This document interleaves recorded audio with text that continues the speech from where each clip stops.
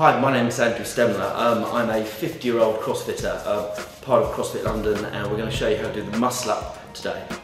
First thing you need to do is get the false grip, and this is really nice. Basically, it just starts you developing little little calluses like, like this on your arm. This is where you're going to, going, to, going to hang. So, you put this down and you hang on this bit where you actually grab the ring. It's not a solution to come up there, you have to hang at the bottom. Now, once you've got the moves, you now want to make a nice dish shape with your body. Now, there's a lot of people who do muscle up with their legs behind them. That's absolutely fine as well. But if you, if you want to be respected by your local um, gymnasts, you need to try and take a little dish shape with this. So basically, the hanging dish shape would look like this, just a slight little dish shape here.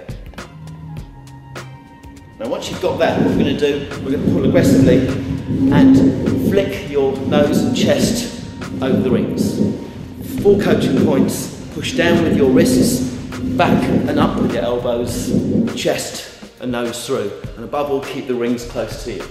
So you're going to be here, here, here to get to there. And then all you have to do, haha, all you have to do is drive up. Here.